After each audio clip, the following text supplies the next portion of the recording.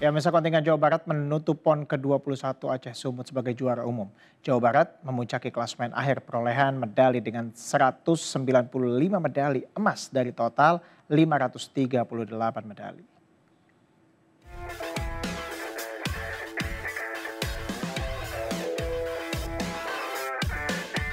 Kontingen Jawa Barat menutup PON ke-21 Aceh Sumut sebagai juara umum. Tim Jabar unggul dari pesaing kuatnya kontingen Jakarta dan Jawa Timur. Jawa Barat memuncaki klasmen akhir perolehan medali dengan 195 medali emas dari total 538 medali. Sedangkan Jakarta harus puas dengan posisi runner-up dengan 184 medali emas dari total 479 medali. Jawa Timur menutup pon kali ini di peringkat ketiga dengan 145 medali emas dari total 425 medali.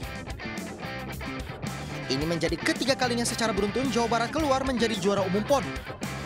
Pada dua edisi sebelumnya di kandang sendiri dan di Papua, kontingen Jawa Barat juga keluar sebagai yang terbaik. Tim Liputan iNews melaporkan.